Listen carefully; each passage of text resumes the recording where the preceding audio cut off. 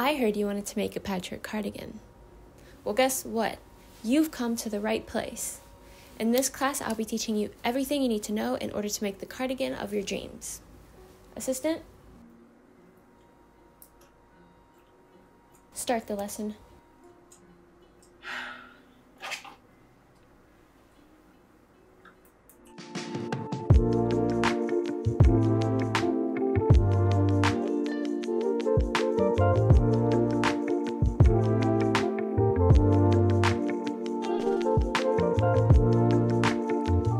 Can even think about getting started, you should go out and get all the materials you need in order to crochet. For this patchwork cardigan tutorial, you will need the following. A pair of scissors, a crochet hook, measuring tape, a darning needle, a sewing needle and thread, stitch markers, buttons, and yarn. You can get crochet materials at any craft store where you live, but I personally purchased a crochet kit on Amazon. I believe it's perfect for any beginner starting to crochet, and it came with all the crochet materials I needed, so I didn't have to go out and buy everything individually. A link to it will be in the description box below. In order to design the cardigan of your dreams, you first want to make sure you have all of your measurements written down so that you can make the cardigan the perfect size.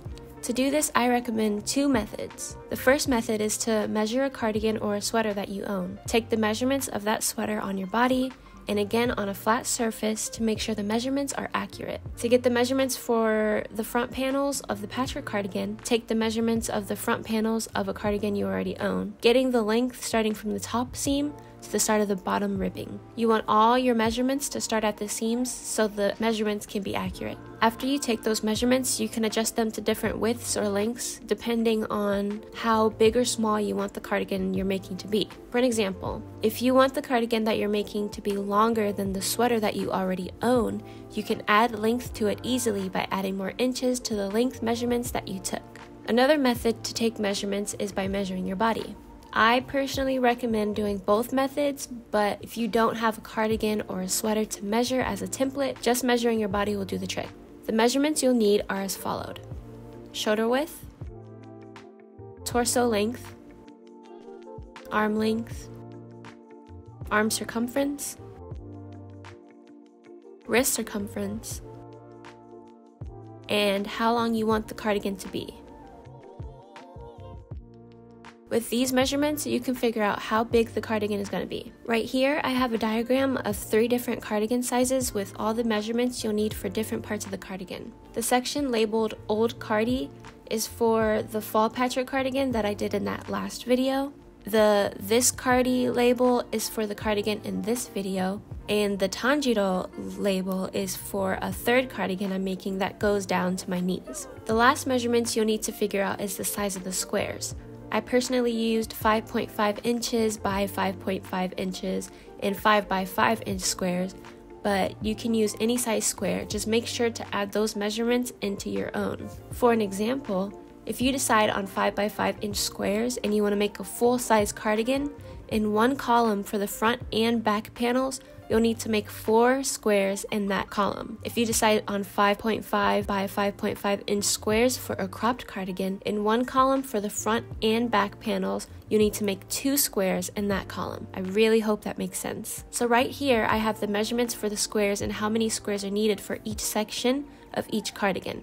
So you can go ahead and pause and write down the measurements or use this as a template to figure out your own. Now this is the fun part. You have complete creative control over how you want your cardigan to look. Do you want it to be simple squares with different colors or do you want to add a little cute design here and there into each square? The choice is yours. To design the cardigan, you have to figure out how long or short you want it to be, choose a color scheme, choose what kind of yarn you want to use, a pattern, and crochet stitches.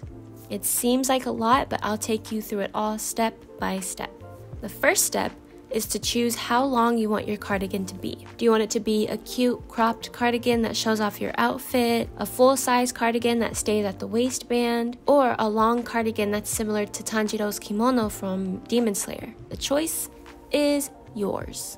After deciding on the length, it's time for the color scheme. This part is a bit intimidating if you love so many colors like I do, and it would probably take as long as putting the actual cardigan together, but definitely take your time and you'll be able to choose the perfect colors for yourself. If you need color inspiration, I recommend going on Pinterest and typing in color palettes, looking at art you like on Instagram or Pinterest, or going to a color palette generator. I will have all of that linked in the description box below. I personally used the color palette generator and played around with it until I decided on a color scheme that intrigued my senses. You can even take a look at clothing online and take inspiration from their colors. Choosing a color scheme flows into the next step, which is choosing your yarn. This part for me took a lot of research and going to different stores and reading a bunch of different yarn brand descriptions. I personally chose to use 100% acrylic yarn due to me not wanting to use any products that are from animals unless they are ethical and cruelty free and I can't really tell if it is just by reading the back of the yarn ball. Whatever your choice is, whether it be acrylic, cotton, wool, etc., make sure you read into the pros and cons of the type of yarn. Acrylic is cheap and the most attainable, coming in array of different colors. However, it tends to be a bit rough, flammable, and is made out of plastic. Wool is highly sustainable, biodegradable, and natural, made from the undercoat of sheep. It's perfect to keep you warm and insulated. However, it's more expensive, and depending on the brand, it's obtained in unethical ways. There are many, many types of yarns that I didn't go through, so definitely do your research and figure out which material is best for you. Another thing to keep in mind while choosing your yarn is the yarn weight. The yarn weight lets you know if the cardigan will turn out super chunky or really thin. Right here, I have three different types of yarn skeins, each of which are a different weight. The green yarn is a DK weight 3 yarn, the gray is a worsted weight 4 yarn, and the red is a super chunky weight 6 yarn. I made swatches of each to show you the differences and help you figure out which yarn weight you'd like to use. The DK weight 3 yarn is very thin and loose to work with. To me, it feels like it would be best to use for clothing that would be worn in warm weather. The worsted weight 4 yarn is the yarn that I'll be using for this tutorial. It's great for beginners to use and it's a great medium if you want a yarn that isn't too bulky or too thin. The super chunky weight 6 yarn is great for chunky sweaters and blankets and rugs, so I would also recommend using this yarn for a nice warm cardigan. Once you choose which one fits your liking the most, you can shop within that yarn weight and find the yarn in the colors of your choice. For the cardigan that I'll be working on in this video, I chose the colors black, red, light gray, and dark gray from the brand Impeccable, all of which are worsted weight 4 yarn 100% acrylic. I paid $3.49 for each skein. For each color, I needed two skeins except for the color I used for the ribbing, button band, and collar, for which I needed 3 to 4 skeins. The next step is to choose your pattern and crochet stitches. And what I mean by this is how you want the squares to look. For the pattern, do you want the squares to be striped? Do you want them to have pumpkins or flowers in the middle? Do you want them to be granny squares? The best way to see how the cardigan will look is to draw it out. Now, you don't have to be a Bob Ross to draw out your cardigan or anything. I know for sure I'm not, but trying it out on paper or a tablet can really give you that visual aspect you need to truly decide on how you want the cardigan to look. This is also the best way to see how the colors go together as well. So grab your color pencils, markers, or tablet and get to drawing. For the cardigan in this tutorial, I created this diagram with the colors that I decided on. It's going to be a simple and plain full-size cardigan, but I decided to alter the wristband and the arm size from the last patchwork cardigan that I did. The diagram is super helpful for me so I know how many squares I need to make for the length that I want. For my cardigan, each square is 5 by 5 inches. Here's another diagram of a third cardigan I'm currently working on, and due to me wanting it to go down to my knees, all I did was take the last diagram I made and add a couple more squares to the columns of the front and back panels. To do that, all I did was take my measurements from my shoulders to my knees and then add 5 inches per each square until the measurement was close to the measurements that I took from my body. Hopefully that made sense. For the arms, I took out a row of squares so that it wouldn't be as long as they were, which is why there's a blue scribble on both of the arms. However, looking at the final product, I realized I didn't take into account that the last cardigan was 5 by 5 inches and this one was 5 inches. So the arms were a tad bit short on me in the end, but I'm okay with that. I'm stating this so that if you want to alter the diagram or measurements in this video in any way, just please keep in mind your personal measurements and also the fact that yarn stretches, so measurements might not always be 100% accurate. The other thing with the diagram is that if you're putting it together the exact way you drew the diagram, keep in mind that the squares are inside out, and when you pull the cardigan right side out, it will be flipped. So I recommend mirroring the diagram so that the original way you designed it can be the way that it actually comes out. After you choose the pattern of the squares, the next step is to choose how you want the squares to look in terms of stitch. There are many, many different types of stitches in crochet, but in this video I'm only going to focus on two.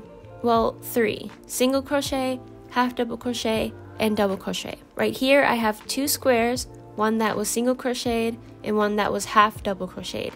And I also have an image of one that was double crocheted because I didn't make a double crochet square. The single crochet square uses more yarn than the half double crochet does. However, I enjoy the look of a single crochet a lot more than the half double crochet and the double crochet due to it being less holy, if that makes sense. It's tightly stitched together and it's pretty to me. This is the half double crochet square and it's still pretty, but I don't think it matches to her sister in my personal opinion. But this opinion also depends on the project I'm working on. The other thing to keep in mind is that the half double crochet square and the double crochet square is a lot more flowy than the single crochet square as it's not as tightly stitched together. This highly depends on the type of yarn you use, the size crochet hook, and your crochet tension. For this cardigan tutorial, I'll be using the single crochet stitch. For beginners watching this video, I have a quick tutorial on how to do a single crochet and the half double crochet and double crochet just in case you haven't mastered it yet. The tutorial will be shown once we get started with the squares.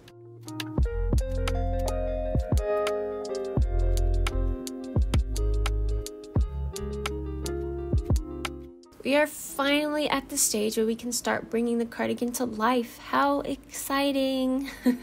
Right here are the materials that we need to get started. A pair of scissors, a 5mm crochet hook, measuring tape, and the color yarn you want to start with. Now, I'm going to be showing two ways to make the squares. The first way is the separate method, and the second way is the color change method. To make the individual squares one at a time, the first thing that you want to do is create a slip knot. In order to create a slip knot the way that I personally do it, you first want to wrap the yarn around your index finger twice, making sure you leave a bit of a tail. Then, Take the first loop and pull it over the second loop slightly. And after that, take the first loop, which was originally the second loop, and pull it over the second loop that was originally the first loop. Then take the loop off your finger, and you'll see at the bottom of the loop a small knot was formed. Once you see that, you can insert your crochet hook into the loop and pull both ends of the yarn to tighten it onto the crochet hook. A lot of people hold their yarn in different ways, but for me personally, I figured out this is the way that is best for my wrist. I first wrap the yarn over my pinky, and then under my ring finger, and then over my middle finger, and then under my index finger, but then wrap it back around my index finger. Once I do that, I take my thumb and my pinky and grasp the slip knot that we created to make the whole loop thing I did around my hand stay secure. I'm going to show you once more just to make sure. So again, I wrap the yarn over my pinky, under my ring finger, over my middle finger, and under my index finger, and then back around my index finger. And then I use my thumb and my pinky to hold onto the slip knot to keep the yarn secure. After I do that, I can now create my chain. So for this tutorial, I've stated before, I changed up a bit of the measurements on my cardigan. If you're wanting to do the original measurements for the fall cardigan in my previous video, I will have the measurements on the side of the screen to make it easy to follow along. To start the square, I chained 20. To chain, all you have to do is take the hook, put it under the yarn, which is called yarning over, like yarn over the hook, and then pull the hook with the yarn through the slip knot. This creates a chain. You're going to do this 19 more times. So again, yarn over and then pull through the loop. Once you've created your chain, it's time to make your first row. So this is where you can choose to do either single crochet, half double crochet, or double crochet. I personally chose to do single crochet, so that's what I'll be showing in this tutorial. To start the first row, you're going to skip the loop that the loop on your hook is currently inside. So you're going inside the second loop, if that makes sense. You're going to push your hook inside the two V's of the chain you just crocheted so that the hook shows up on the back of the project. Then you're going to yarn over, pull the yarn and hook through the same hole. There should be two loops on the crochet hook. Next, you're going to yarn over once more and pull through both loops on the crochet hook. And that's the single crochet. Again, you're gonna push the hook through the two V's, yarn over, pull through the hole, yarn over again, and pull through both loops. You're gonna keep doing this until the end of the row.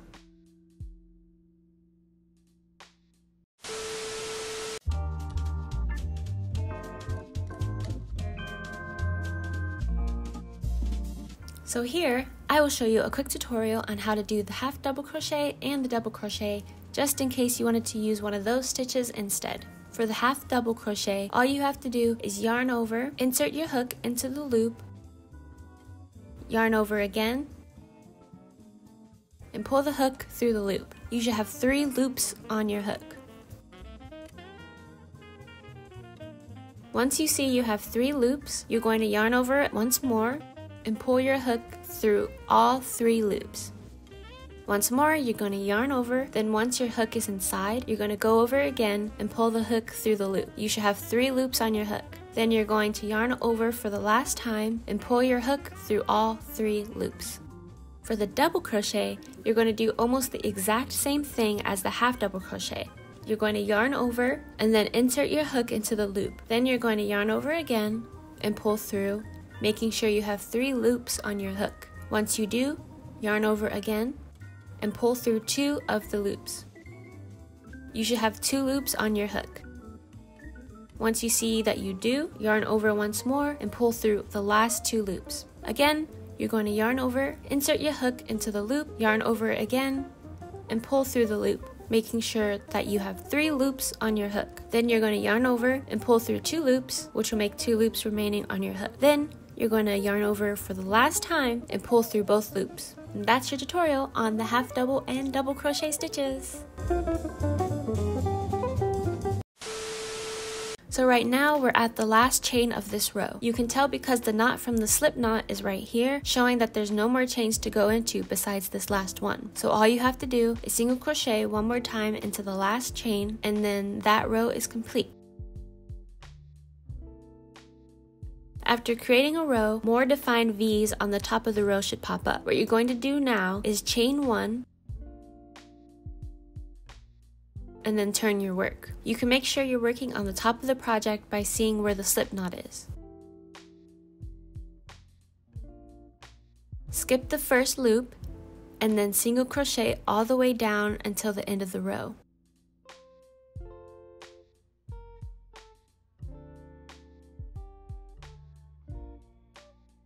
You're going to keep doing this for a total of 20 rows or until it is 5 inches by 5 inches.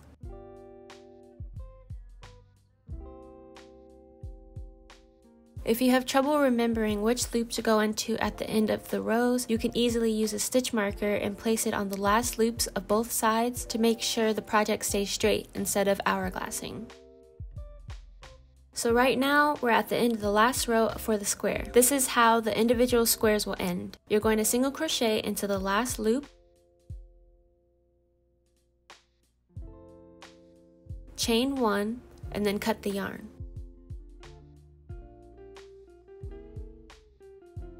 After cutting the yarn, pull the yarn until it comes through the chain and then pull it tightly so the square closes properly and it's secure. You've just made your first square! How cool is that? This is the method for the individual squares. If you follow this method, then all you have to do is continue to create squares the exact same way you just did until you get the amount you need for the project. For the second method, the color change method, you first crochet the entire square and instead of binding off, you take the second color, loop it around the hook, pull it through the loop as if it were the chain one, turn your work, and then single crochet using the new color until it's 5 by 5 inches. And when that square is done, you add another color and continue until you get to the length of your choosing. For this method, it's best to have the diagram of where exactly you want the colors to be placed on the cardigan so you can know which color to switch to and when. For the cardigan, there are three parts that require ribbing the bottom of the cardigan and both arms of the cardigan. In order to make the ribbing for the cuffs of the arm, you're going to chain 12 or 3 inches and single crochet normally into the first row. After you completed the first row, you're going to chain 1 and turn over the project. In order to get the ribbing effect, you have to look at the top of the project. There are a bunch of V-shaped loops on the top of the project. Each V has two loops. One loop is closer to you, which is the front loop, and one loop is farther from you, which is the back loop. What you're going to do is work into the back loop the entire time until you reach the specific length that you want for the cuffs. To work into the back loop, all you have to do is take your hook, push it under the back loop, and then single crochet normally. You're going to do this for a total of 25 rows or 8 inches depending on the size of your wrists.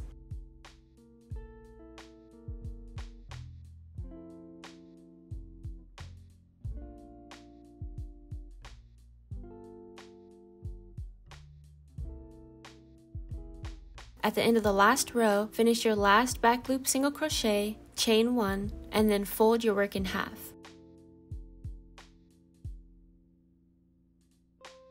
What you're going to do is slip stitch both ends of the projects together so it can be round and fit around the entirety of your wrist. In order to slip stitch, all you have to do is go into both the loops of both sides of the arm cuff.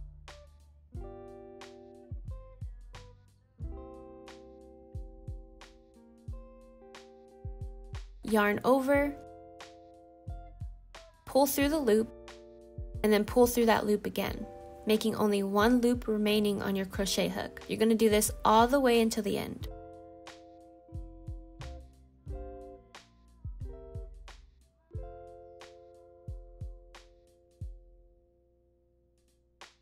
Once you reach the end, you're going to do your last slip stitch and then chain one Cut the yarn and pull the yarn until the loop closes the cuff together. You're going to repeat this again to make another cuff and to make the bottom ribbing. Only for the bottom ribbing, you don't connect the ends together. Make sure you do not connect the ends together. For the bottom ribbing, you're going to chain 12 or 3 inches and do back loop single crochet for 200 and seven rows. I know it's a lot, but once you complete the ribbing, it's finally time to sew everything together.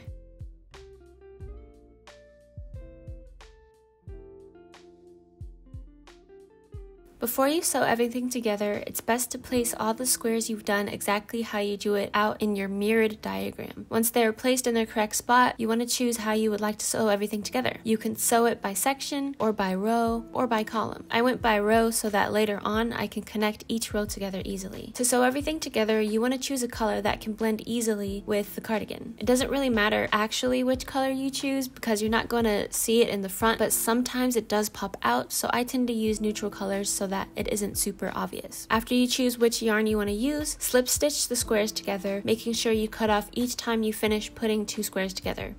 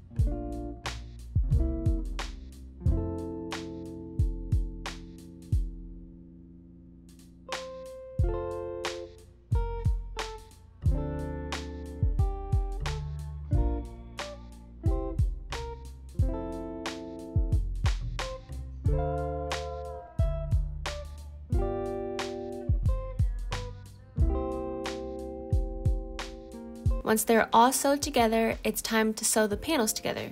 Again, so what you're going to do is take two sections and place them in accordance of the diagram. To make it neat and symmetrical, take a couple of stitch markers and place them into the seams of the squares, making sure the seams align when you sew them together.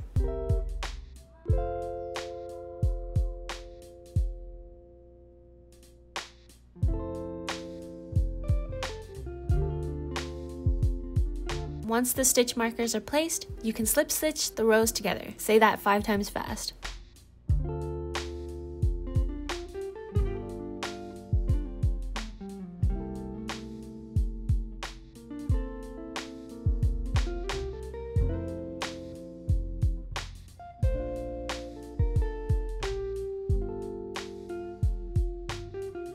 The arms, the only difference is once it is all sewed together, you're going to fold the arms in half and then slip stitch it closed so that it can be circular and your arm can fit through. To get it out the way, I personally attach the wristbands at this point just so I don't have to do it later.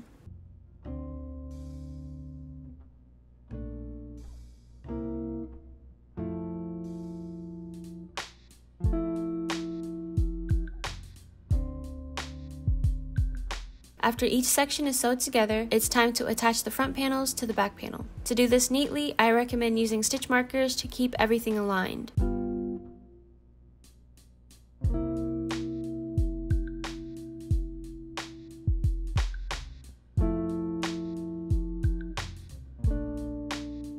What you're going to do is sew half the side together, which is two squares in this demonstration, and then the top two squares together, making sure that one square on the top isn't attached and two squares on the side isn't attached. The two squares on the side that isn't being attached will be where the arm goes, and the top square that isn't attached is where the button band is going to go. Like before, place the stitch markers on the seams so that they align, and then slip stitch everything together.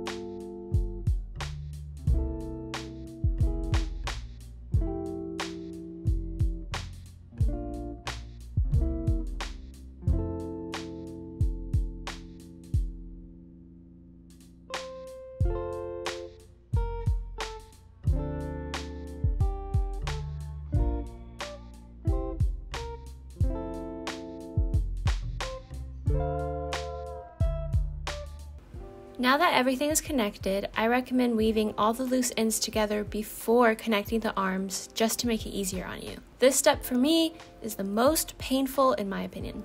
Never have I ever loathed anything more than weaving in ends.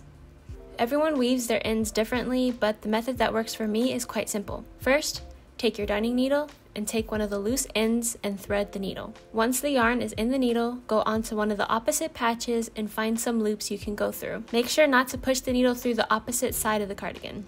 I personally like to have 3 to 4 loops on the darning needle. Once the darning needle has the loops on, pull the needle through until the yarn goes through all the loops. Then take the needle and go through those loops once more.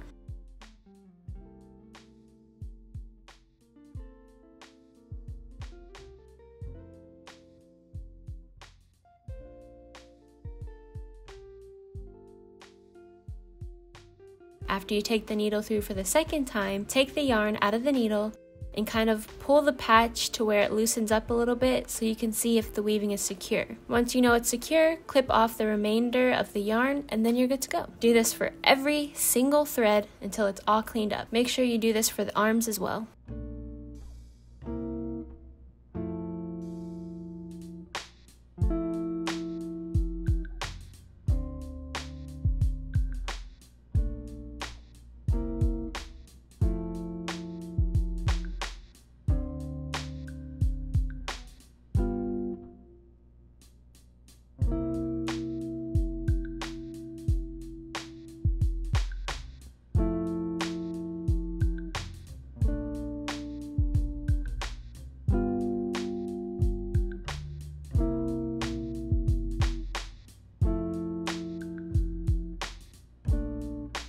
Everything is weaved together and looking cute and clean, it's time to attach the arms. What you're going to do is take the arms, pull them right side in,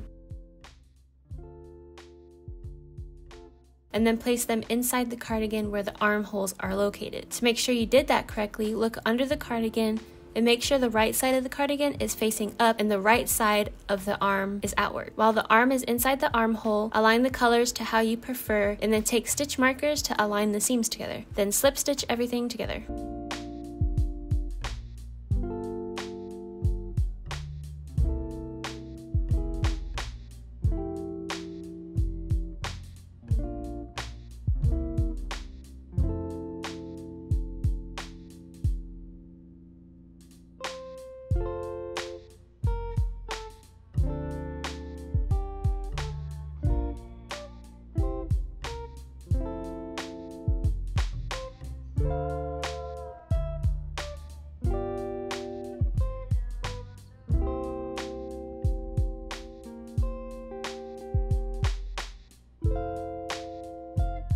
Next, you're going to attach the bottom ribbing to the cardigan.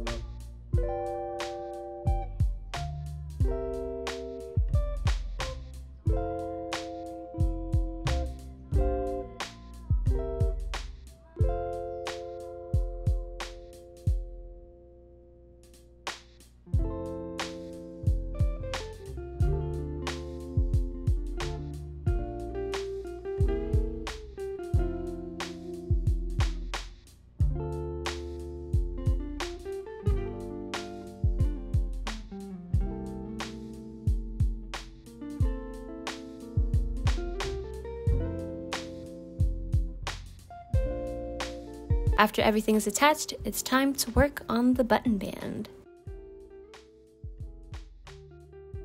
For the button band, you want to figure out which side you want the buttons to be on. For my cardigan, I chose for the buttons to be on the left side of the cardigan, the right side when the cardigan is laying down on the floor. So for the right side, or the left side when it's laying on the floor, you want to slip stitch all the way from the bottom ribbing until the end of the last square on the top of the front panel. Here, I'm showing you what it looks like when you go into it with single crochets without slip stitches. It looks very holey and loose and sloppy, so I prefer to slip stitch it first so that it's more tight and easier to look at. But this is just a personal preference, so you can do whatever you want. After you slip stitch all the way up, turn the cardigan and single crochet all the way down. Crocheting into the slip stitch is very tight, so make sure you slip stitch gently so that you won't struggle with crocheting the button band. You're going to continue to single crochet up and down for a total of 4 rows or 1 inch. After you complete the right side button band, take a couple of stitch markers and figure out where you want your buttons to be placed as well as how many buttons you want there to be on the button band.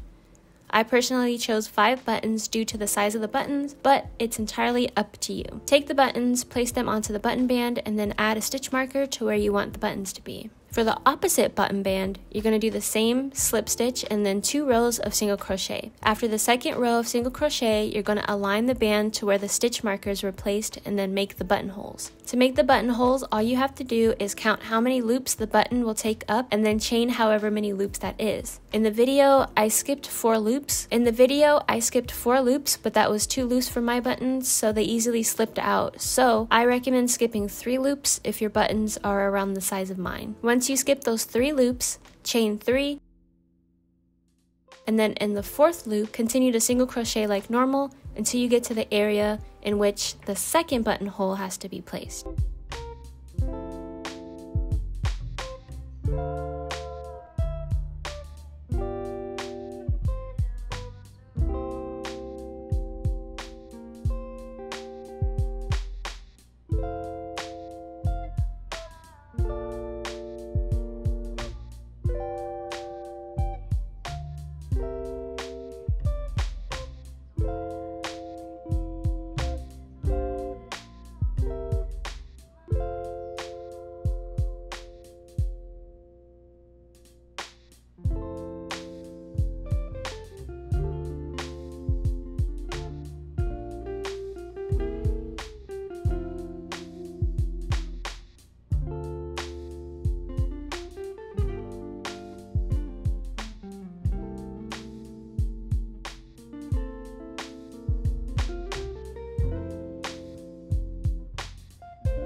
This for all the buttonholes and then on the fourth and last row, single crochet down the button band. When you get to the buttonholes, all you have to do is single crochet the amount of loops you skipped into the hole, which was three loops, and then continue down the band.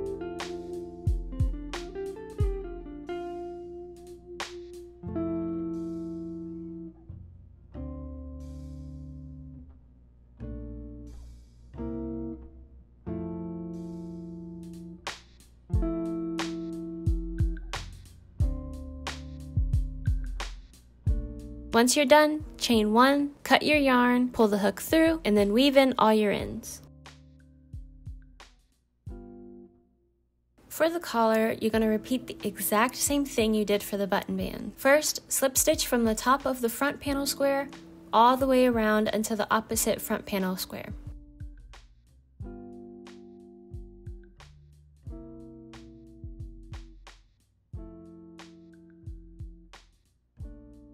After that, you're going to single crochet back and forth for a total of 11 rows or two and three fourths of an inch, or however long you want the collar to be. It's really up to you.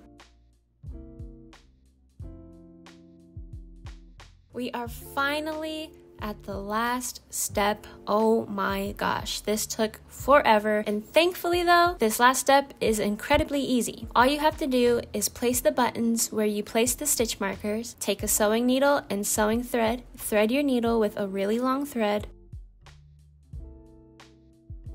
I recommend the long thread so you don't have to get a new thread for each button. Once the thread is in the needle, create a knot a couple times to make sure it's secure on the needle. Do the same thing for the end of the thread. I personally recommend knotting it about seven to nine times just so it's secure. You don't really have to do it that many times, but I like, I kind of freak out, so I just put an extra, I just make the knot as big as I can. Once you do that, you're gonna insert the needle into the button from the back of the band.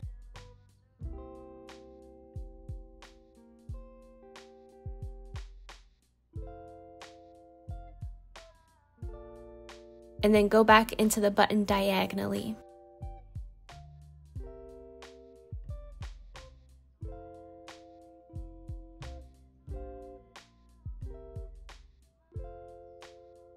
Once you pull the thread all the way through, go back into a new hole in the button, and again, go back into the button diagonally. Do this until the button feels secure. I personally like to do it five to six times. Once it's secure, push the needle through the side of the button and wrap the thread around the button 10 times. And then push the needle back into the back of the button band.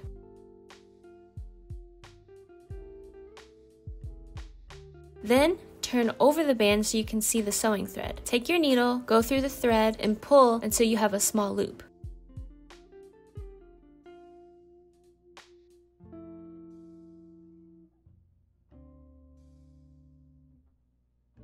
Put the needle through that loop and pull it so it tightens up everything you just did to the button. Do this three times, cut the thread, and you're finally finished with your cardigan.